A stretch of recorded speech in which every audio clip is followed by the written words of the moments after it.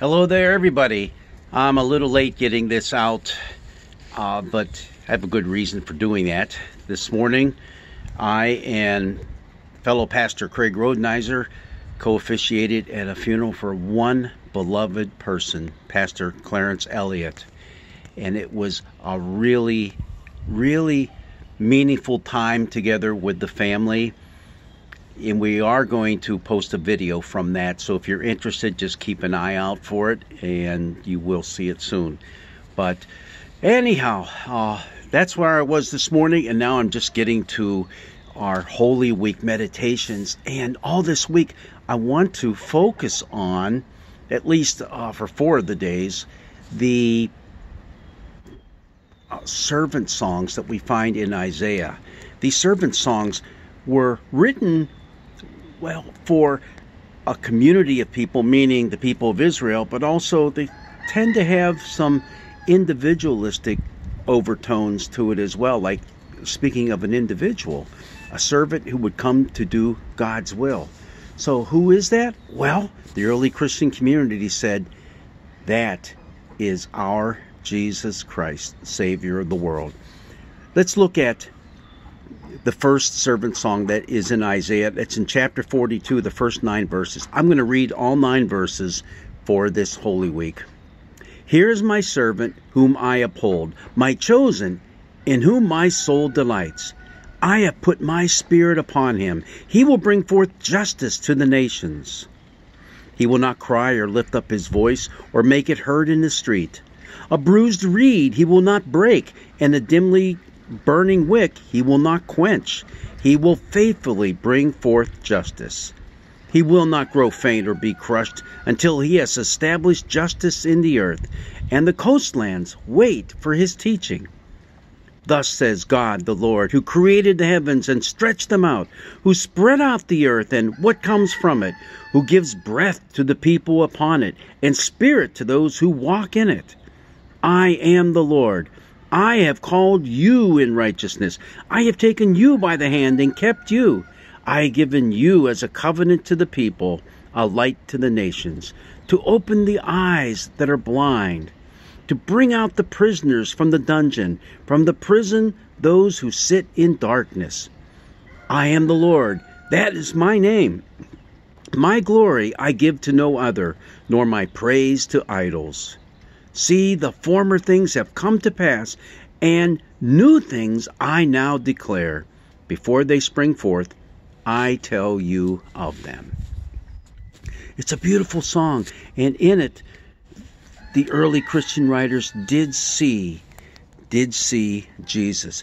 But it's not just uh, Jesus that it's speaking to, it's also speaking to us as God's people, that we are the ones like this servant who follow in his footsteps, his servant in whom God takes delight. God just didn't pluck the servant out of thin air and say, Now do what I tell you to do.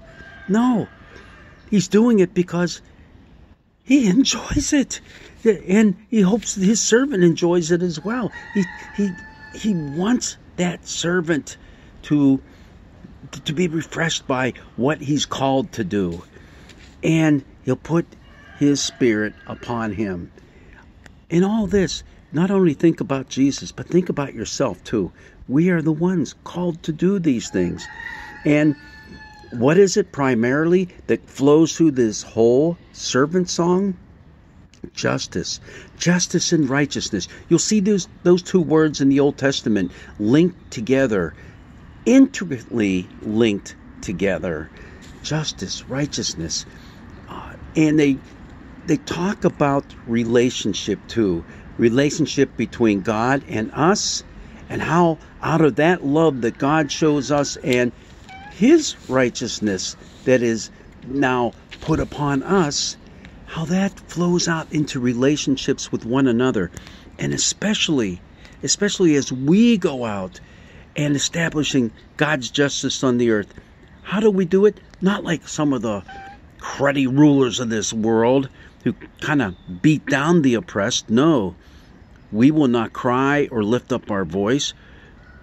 We will not take a bruised reed and break it or a dimly burning wick and and quench it. No, we won't do that.